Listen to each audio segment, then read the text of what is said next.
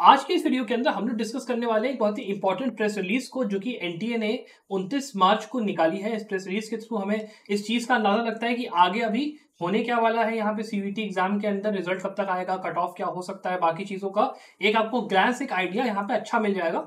तो प्लीज़ इस वीडियो को लास्ट तक देखिए और साथ ही में संभव के चैनल को सब्सक्राइब भी ज़रूर करिएगा।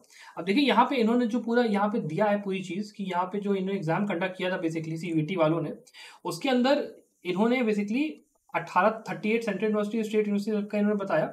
ये बताया कि किस उसमें वो है। उसके अलावा फिर इन्होंने बताया कि यहाँ पे सब पैरामीटर्स वो दे दिया कितने कैंडिडेट्स ने यहाँ पे पार्टिसिपेट किया। हमें वो सबसे मतलब नहीं है, हमें मतलब है अपने एग्ज़ाम से। तो जो हमारा एग्ज़ाम है सी क्यू पी फोर्टीन अगर आप ये देखोगे एल एल एम वाला तो यहाँ पे जो रजिस्टर्ड कैंडिडेट्स थे, वो आपके कितने तेरह हज़ार, जिसमें से कि दस हज़ार आठ सौ इक्यासी कैंडिडेट अपियर हुए हैं।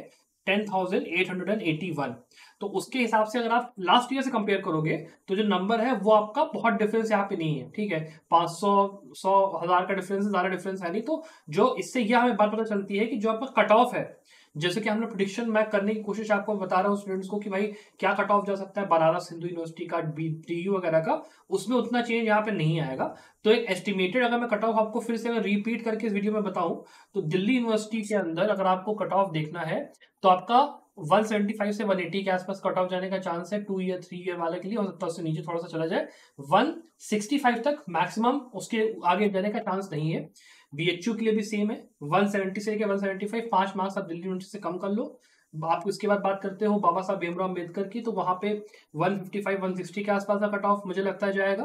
और central university of south Bihar के लिए भी आपका 155 160 के आसपास कट ऑफ़ जाएगा। उससे कम जाने का चांस थोड़ा कम ही लगता है। बाकी ऐसा हो सकता है कि जो स्पॉट काउंसलिंग का राउंड आए या फिर आपका आ, आगे तक अपना चले से मान लो बीएचयू के केस में क्या होता है कि बीएचयू के स्टूडेंट्स को वहाँ पे अलग से आपको दे दिया गया। कि आपको रिजर्वेशन अलग से दिया गया बीच स्टूडेंट्स को तो हो सकता है उनका और कम मार्क्स पे आपका हो जाए जनरल कैटेगरी के अंदर तो वो डिपेंड करता है कि आप किस उससे बिलोंग करते हो। ये मान लो आपकी किस्मत अच्छी है, सही टाइम पे आप थे, आपको एडमिशन मिल गया।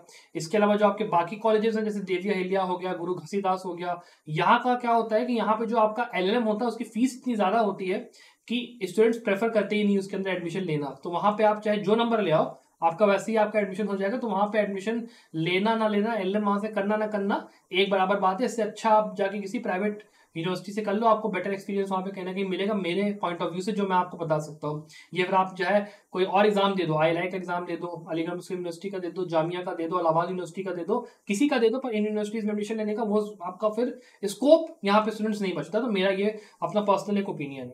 इसके बाद अगर हम लोग बात करते हैं, क्या यहाँ पे इन्होंने, इसके अंदर निकाला है चीज़ें तो यहाँ पे इन्होंने बेसिकली वही बताया कि क्या परसेंटेज वगैरह है? और फिर इन्होंने डेट्स वगैरह का बताने की करी है कि सब सिंगल फ़ेज़ में कंडक्ट हुआ बाकी सब कुछ है।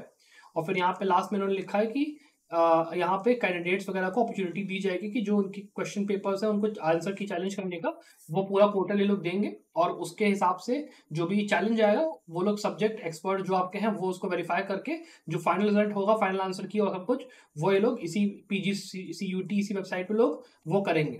तो जो मेरा एस्टिमेट है वो ये है कि यहाँ पे कम से कम आ, दस अप्रैल के बाद ही मतलब ग्यारह, बारह या पंद्रह अप्रैल के आसपास ही रिज़ल्ट आएगा, उससे पहले रिज़ल्ट आने का कोई चांस नहीं है। ये आप नोट करके चल लो। और आपका रिज़ल्ट आएगा, पहले आपका प्रिलिमिनरी यहाँ पे रिज़ल्ट आएगा। उसके अंदर ये लोग बेसिकली आपको जो आंसर की होगी, वो ये लोग दे देंगे आपको प्रोविजनल आंसर की। उसके बाद उसको चैलेंज करो, तीन, चार दिन, दो, तीन दिन मिलते हैं चैलेंज करने के लिए। चैलेंज करने के बाद आपका फाइनल आंसर किया आता है, जिसके बेसिस पे आपका स्कोर कार्ड एक बनेगा। और उसी टाइम के अराउंड यहाँ पे दिल्ली यूनिवर्सिटी बनारस हिंदू यूनिवर्सिटी और बाकी जो आपकी यूनिवर्सिटीज हैं, ये लोग भी अपना काउंसलिंग प्रोसेस वगैरह चालू करेंगे। अब इसमें देखिए जो मुझे एक फंडा यहाँ पे लग रहा है, वो ये है कि जो काउंसलिंग प्रोसेस है, वो थोड़ा लेट में शुरू होगा, क्योंकि जो आपका सेमेस्टर वगैरह है सेमेस्टर वगैरह आपका जुलाई, अगस्त के पहले चालू होता है नहीं। तो आपका काउंसलिंग प्रोसेस भी मेरे ख्याल से जून, मई, जून के आसपास ही ये अपना शुरू और खत्म होगा तो रिज़ल्ट पहले आ जाएगा। और रिज़ल्ट आने, अगर अगर मान लो आ गया रिज़ल्ट तो उसके बाद काउंसलिंग प्रोसेस पे टाइम तो लगना ही लगना है। जाकर काउंसलिंग प्रोसेस भी होगा तो आपका, फिर जो सेशन होगा वो तो जुलाई के पहले चालू होगा नहीं। तो एग्ज़ाम पहले कंडक्ट करो, बाद में कंडक्ट करो, फ़र्क पड़ता नहीं है। और सीवीटी यूजी का जो एग्ज़ाम है, जब वो कंडक्ट होगा, उसके बाद ही शायद हो सकता है कंबाइंड काउंसलिंग प्रोसेस ये लोग शुरू करें मे बी मैं हंड्रेड परसेंट कह नहीं सकता पर जो मेरा एक अंदर से थॉट है, वो मैं आपको बता रहा हूँ। तो काउंसलिंग प्रोसेस के लिए तो आपको थोड़ा सा हो सकता है रजिस्ट्रेशन वगैरह के लिए वेट करना पड़े, लेकिन जो आपका रिज़ल्ट है मे बी वो जल्दी यहाँ पे आ जाए मतलब दस, बारह, पंद्रह तारीख तक, अप्रैल तक मे बी आ जाए तो वो एक आपकी चीज़ है समझने वाली। अपार्ट फ्रॉम दैट अगर मान लो आपको कोई क्वेश्चन है, कोई चीज़ है तो आपको पूछना है इस वीडियो के अंदर डिस्क्रिप्शन में आप जो कोर्सेज वगैरह, वो आप देख सकते हो, कोई डाउट्स आपको पूछने हैं, नीचे कमेंट्स में जाके कोशिश करिए पूछने की, मैं आपको बिल्कुल कोशिश करूँगा रिप्लाई करने की। Apart from that I wish the very very best of luck for success bye